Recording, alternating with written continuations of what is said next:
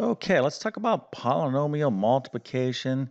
This is an absolutely critical skill for you to be successful in algebra. And you can see here, I want to multiply uh, this polynomial times this polynomial. Now, polynomials, uh, I'm just kind of saying a general description of what a polynomial is, but we have different names for different type of different types of polynomials. So if I have a polynomial like this, 2x, we would call this, it starts with an m. Let's see if you can go ahead and answer that question. Put that in the comment section, by the way, if you know um, the answer. So a type of polynomial with a single term is called a what? Okay, hopefully you said monomial. But now if you have a polynomial with two terms, something like y plus 3 or 4y plus 5, this is called a what? Well, it starts with a b, and this is a binomial, right? So we have a binomial, and then if you have something like 4x squared plus x minus 7, this would be an example of a trinomial, and then anything beyond that we would just describe as a polynomial, but all of these are in fact polynomials. So 2, 2x by itself is a polynomial, and these um, uh, y plus 3, 4y plus 5, that, that's a polynomial. This is a polynomial, what I just erased. Uh, but when you, when you have a single term, uh, polynomial, that's a monomial. These are binomials, and you can have trinomials. But uh, again, all of this falls under the category of a polynomial multiplication.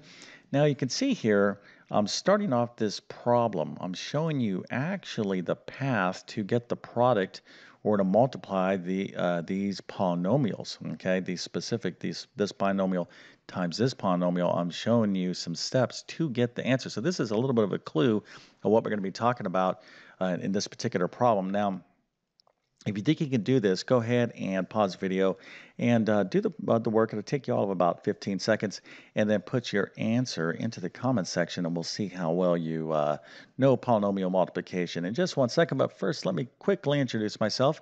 My name is John. I'm the founder of TabletClass Math. I'm also a middle and high school math teacher.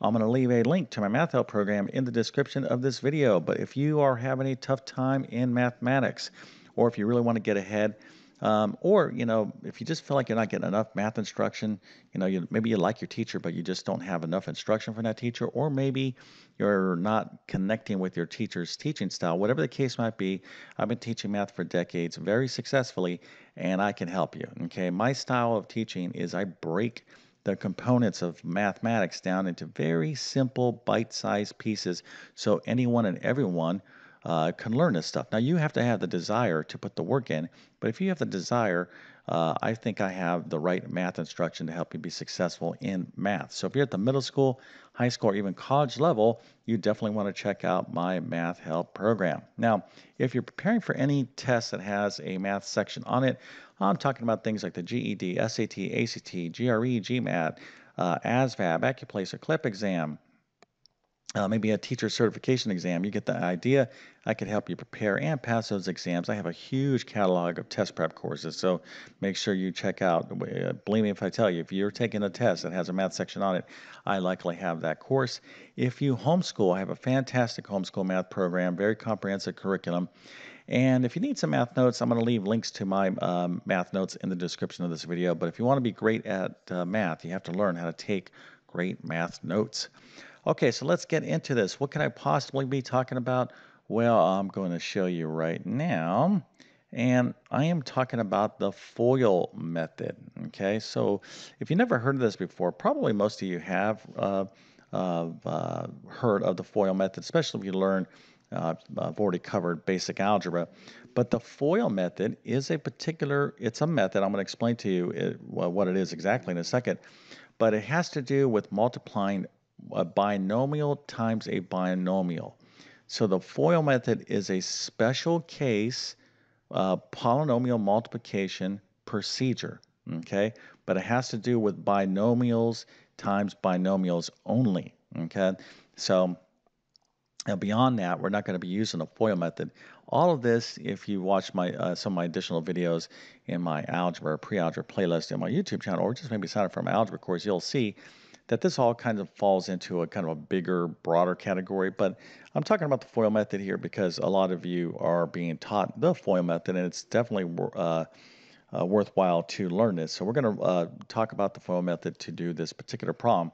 Now you can see over here to the right, I'm showing you what uh, kind of how uh, the FOIL method, these arrows, what they mean. So let's go through this and talk about this now, okay? So what does the F mean in the FOIL method? It means the following, okay? You can see this arrow and I have this F. It means the first, all right? So this is the first, but first what? Well, let me go down and show you here. It means that you're going to multiply the first terms, okay, in each of the binomials. So you can see the y, this y here and that 4y are the first terms of each of these respective binomials. Okay, so this is basically how it is. Okay, first, so here I have this next arrow, okay, that represents this O. What can this possibly represent? Well, this is the outer, okay. So we have the first, and then these are the outer terms, okay. You can think of it this way. This is, uh, these two here are the very outside ones. Okay, so this is the outside right there. And then our next is what? It's the I. If this is the outers, what do you think this is? Well, you guessed it. This is the inners. Okay, so these right here, let me erase this so we can just highlight each one of these right here. So these two here are the inners. Okay, and then we're uh, left with this L. And if we had the first, well, we probably have the last. And uh, that's what uh, the L stands for. So these here, 3 and 5, in this case, those are the last terms of each of these respective uh, polynomials. Okay, so that is the FOIL method, first, outer, inner, last. So I want to see if you can actually do this and finish this up. So what you're going to do is you're going to multiply the first. Right, so you're going to multiply y times 4y. You're going to get that answer. Then you're going to do the outers. Well, that would be y times 5. Then you're to do the inner, 3 times 4y. Then you're to do the last, 3 times 5. And then you're going to get all your answers, and then you're going to combine like terms, okay? So let's see how well you can do basic polynomial multiplication. And let's see if you can actually finish this problem up using the FOIL method. So if you're not ready to see the answer, pause the video because I'm going to go uh, through the rest of the solution right now. Okay, so let's get to it. So here is our setup with the FOIL method. So let's uh, see how this works. So we're going to uh, just kind of follow the order, first, outer, inner, last. So the first is going to be uh, y times this 4y. So y times 4y is 4y squared. Okay, y times y is y squared. So this is actually a 1y times a 4y. So again, you're going to have to know how to multiply basic monomials. And hopefully you've already learned that. But that is the result of our first. Okay, so if you got that right, that's excellent. Now, what about the outer? Well, that would be y times what? That would be y times 5.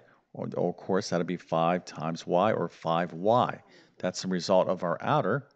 Now our inner is going to be 3 times 4, I'm sorry, 3 times 4y. So that's going to be 12y. Okay, and then our last is going to be 3 times 5, which of course is 15. Okay, so this is our, our FOIL, first, outer, inner, last. But now we have to combine like terms. And 5y and 12y, these are like terms.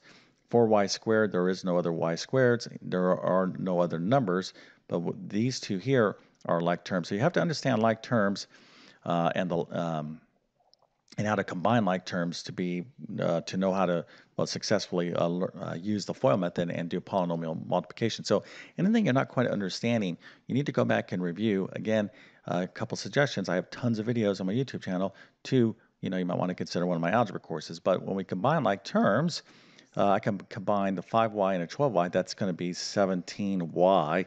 So I have 4y squared. We'll write that first. Now, the reason why I'm writing the 4y squared first is because we always want to write things what we call in standard form, highest to lowest power. Okay, so it, it's more correct. Um, you know, it's pretty bad uh, grammar or English, but uh, just uh, when you just get used to writing the highest to lowest power, that's standard form. So we're going to write our 4y squared and then we're combining on like terms, 17y, then we have our number. So this is the final answer, 4y squared plus 17y plus 15. Okay, so how many uh, got that right? If you got that right, then I must go ahead and give you a lovely 1981, 1981 uh, Mohawk, an A plus and 100%. So if you watched my other videos, I know I, I like to try to have fun with math. Take it, you know, think about things that make me laugh, feel good, especially when I was younger. So you probably under uh, have a uh, you know a sense that I grew up in the 80s. Well, I was going to high school back in these days, and you know, um, yeah, it was fun being young because you were experimenting around with all these crazy haircuts. I'm glad I don't see these haircuts anymore. Maybe I don't get out enough, but um, anyways, you know, when you're young, you should be having fun and you don't want to have like a negative relationship with math okay that's definitely the worst thing that can happen i know uh, you know for me and i was i wasn't excited about math i'm excited about it now but if you're trying to learn math okay if you're trying to improve you have to change your emotional relationship with math okay? If you hate math okay you're not you're going to have a mental block right? So that's why for me as a teacher I'm trying to say, hey, let's lighten things up and let's try to, you know, uh, enjoy the process. Especially if you have to learn it, well, then let's put some fun into it. And hopefully, this little video was a little tiny bit of fun. I know you'd rather be doing something else, but listen, if you you learned something, well, then I think hopefully that earned this video uh, a gigantic like. So if that is the case, uh, smash that like button and if you're new to my YouTube channel, please consider subscribing. I've been on YouTube for 10 plus years. I have over a thousand plus math videos, basic math to advanced math like calculus. So, you know, I make all this content for you, right? So you can be successful in mathematics, but my best math help will always be within my math help program. Okay, so with that being said, I definitely wish you all the best in your mathematics adventures. Thank you for your time and have a great day.